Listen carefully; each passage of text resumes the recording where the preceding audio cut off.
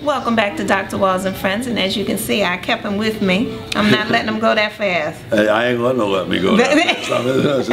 I, I may be, I may be elderly, but I ain't no fool. That's right. That's right. okay. Now, Andre, you were telling you wrote 37 books. Yes, uh, not not every one of them are published. Okay. I only have about 16 of them published. All right. Because it's very hard to do that. Mm -hmm. You know, even though you have a bestseller today, and you go to them tomorrow and they say, "Well, what have you done today?" I said, "Well, what I did yesterday." Right. I mean, I, you know, so that's right. the whole thing. Yeah, I've, I've written quite a number of. As a matter of fact. Um, I think you're, you're involved with the Sisters of Harmony, right? Yes. That's a woman's empowerment group? You got it. I have written a book, Watch the Plug, okay? The Book of Five Rings that I've written is like a phenomenally huge success, mm -hmm. okay? Even though the publisher makes the money, okay? Right, but, okay. right. I've written a book called The Lady of the Rings. The Lady of the Rings is Musashi's Book of Five Rings based on Musashi's Book of Five Rings for women's empowerment. Really? Yes, yes. Um, you'll give me your address. Uh, definitely. I'll, send you a copy Thank of that. Thank you. And uh, I also do, um, it's more of a pitch, okay? I also do seminars yes. to women. Yes. But, you know, self-defense mm -hmm. based on the five rings, mm -hmm. um, positive uh, enhancement, empowerment, self-esteem, mm -hmm. and things mm -hmm. like that through another series of books that I have written called okay. Self-Revealization. Oh, I like it. Self-revealization acceptance. Talk a little the, bit about that one.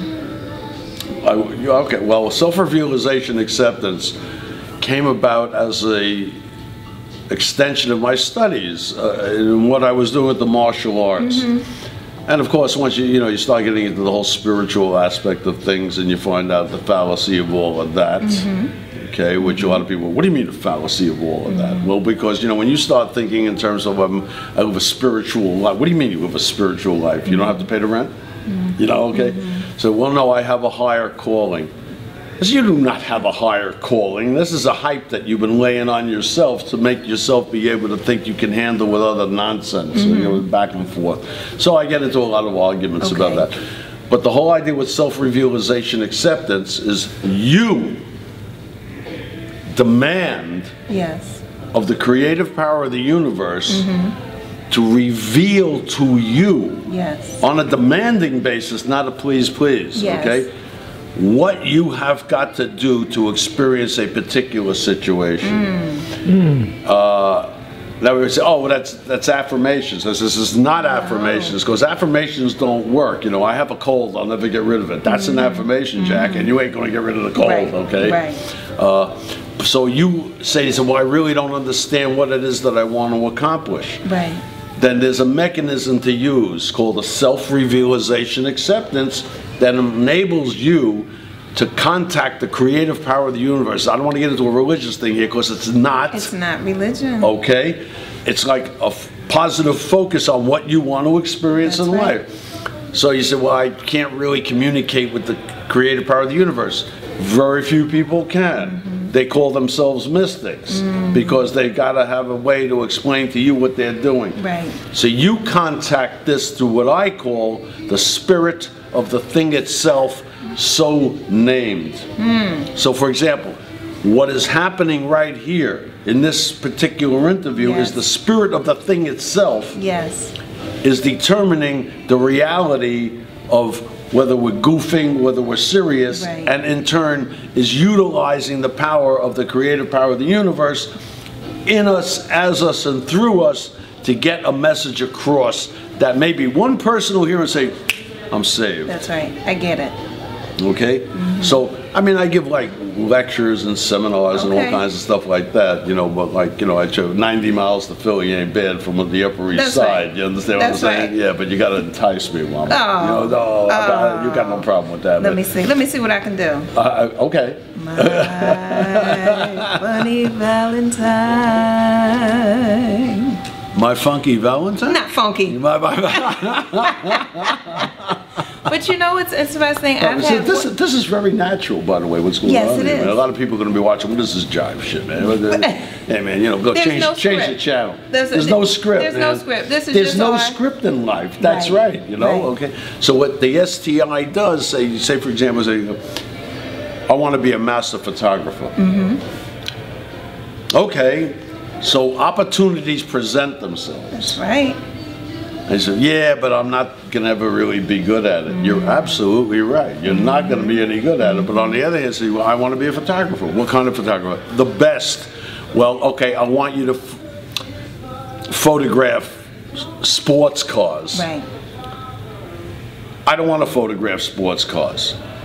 No, photograph the sports cars because what you really want to photograph, you would be photographing if you knew what you wanted to photograph, and the sports cars is a direct line to hook you into what you want to do That's right. based on who you are. Mm-hmm. See, most people can't stand themselves because they, they can't accept themselves for the, they can't stand who they are because they don't like what they are. Right. So if you really say, you know, I really like who I am, mm-hmm.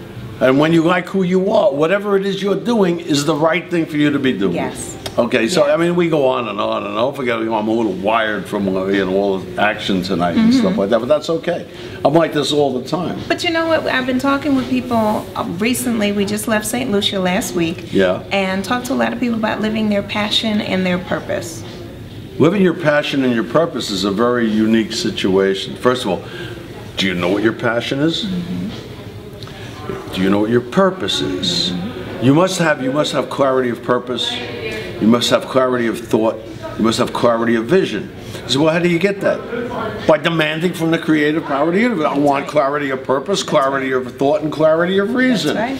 And they say, well, what are you going to do with it? It's not your. It's this is weird. It's going to sound weird. It's not. Is it? It's not your business. Mm-hmm.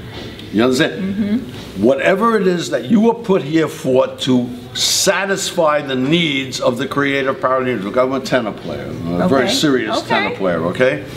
And I love singing to a saxophone. Calm down. We, uh, you, want, you want to do a Billy Lester thing over here, man? You know what I'm talking about, man? Okay, okay. He's saying, he's probably sitting and says, what the hell's going on with this cat and my old lady over here, man? he's shaking his head. He says, how did this happen? He says, I don't know. What the hell did I do to deserve this? You know?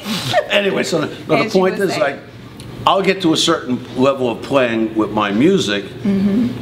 I'll play a, any particular tune. It doesn't matter because when you understand the music, you understand what you're doing. You know what the tune does. You know what you're supposed to do. That's right. When you're free inside of your restriction, you then